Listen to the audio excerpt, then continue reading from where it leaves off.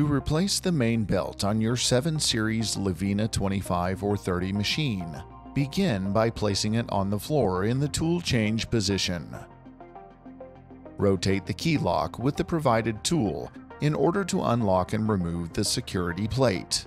Next, remove the four bolts keeping the tool holder attached. Repeat this for the other two holders.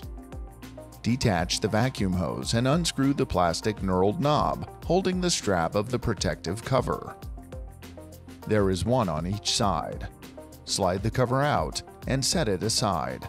Unscrew the eight bolts holding the adapter and plastic cover and remove all the sealing elements. In order to open the grinding head, the belt must not be under tension. Open the inspection cover as shown to access the belt tensioner. First, loosen the four nuts shown, and then proceed to unscrew the two nuts on the threaded rod in order to loosen the belt. Now, the bottom cover can be removed. Remove the 9 bolts securing it in place. To separate the two halves of the grinding head, insert 3 M12 by 30 or longer bolts in the locations shown and slowly and evenly thread them in place. These bolts can be found on the side of the machine. Set the bottom cover aside and remove the M12 bolts. Remove the belt.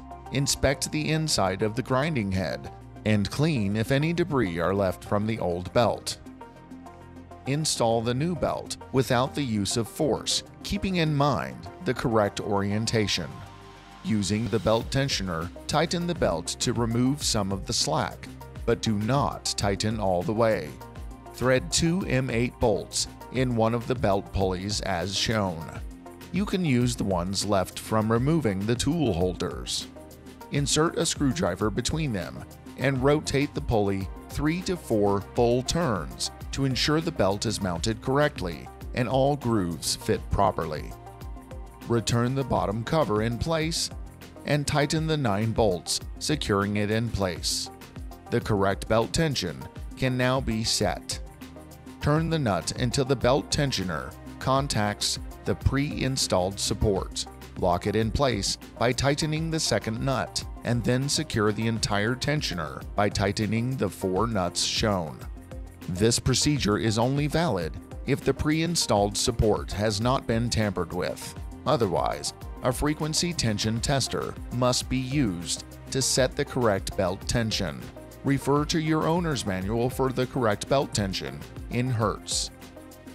Reinstall all of the parts back on the machine in reverse order to continue using your Lavina.